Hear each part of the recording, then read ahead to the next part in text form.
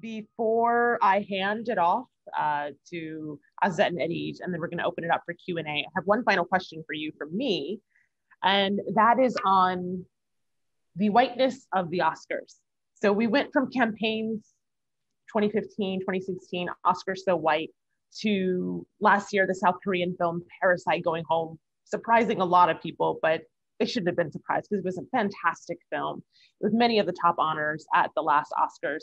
Do you think that that has set a precedent, or do you think it's a one off and we're going to go back to films like yours not being recognized?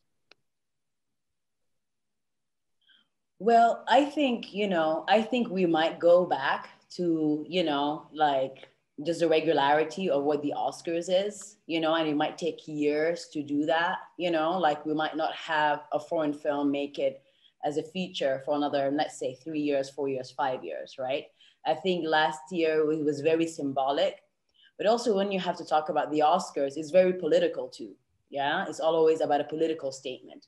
So they might select a film that is, you know, again, that really is touching, but at the same time, it's a huge political statement in terms of where America is right now, right? In terms of like uh, pro-black, pro-Muslim, pro-liberalism, you know, liberalism. So there's also that potential that is very surprising that it actually could happen, right?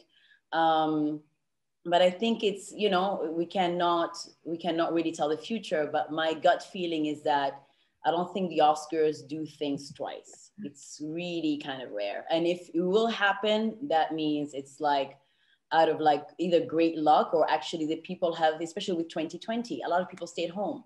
A lot of people watch films like online, right? A lot of with uh, Maia and Chris's films, The Letter, have had a lot of like kind of online screenings that reach a lot of people. And with Amjad's, it being on Netflix MENA, it reached a lot of different people there. So, I mean, there's also that possibility that it could actually go into like a way where people can actually see African films as being competing as good as an, an Austrian film or a Colombian film or a Mexican film, where they have bigger budgets, bigger governments, bigger actually ministries of culture that really have backing up and backing their countries because they see it as soft politics, right? They see it as a way to actually promote tourism as a way to promote cities, culture, and a like vision of what their countries are. So, you know, for me, it's like so and so. I don't know, Areej, what do you think on that point? I think you made excellent points as usual. I would also add, just in terms of what Malika was just saying about Parasite, you know, that film speaks for itself, and that director is, he's stellar in, you know, all of his films that I've seen, I love. But that was also the Academy making a statement about global cinema. It was also them really standing behind the South Korean film industry, which has been very successful, self-sufficient, booming, and there's a lot of support for their filmmakers there. And I think that on the continent, something that Statement would like to see and something that we're working towards day in and day out is cultivating an ecosystem that can really stand behind its filmmakers. Um, we heard some of that here tonight from our amazing filmmakers with us in this talk. I mean, it's one thing to go and make a film that, you know, these films speak for themselves. They're beautiful pieces of art.